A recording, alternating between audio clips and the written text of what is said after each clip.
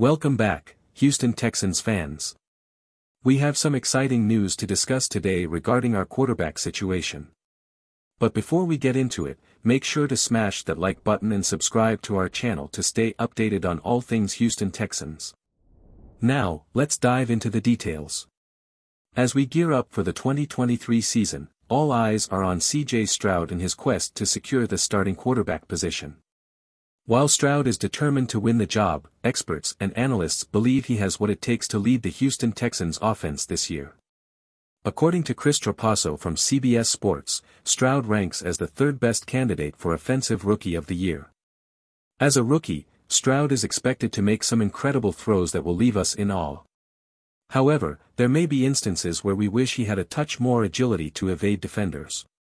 Despite that, the Texans' offense seems to be heading in the right direction after a period of stagnancy.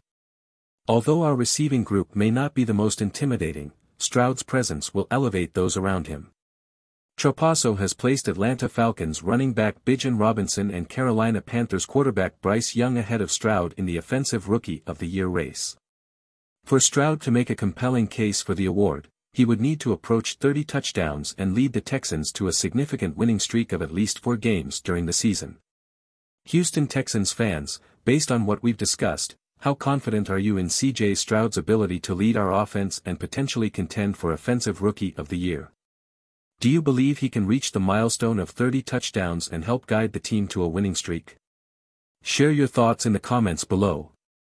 There you have it, the buzz surrounding CJ Stroud and his aspirations to become the Houston Texans starting quarterback.